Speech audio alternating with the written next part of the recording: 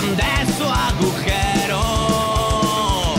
Le patean sin perdón, son seres sin corazón. Se defiende y se ensañan. Ha perdido la batalla. De muerte es una canción. A un camión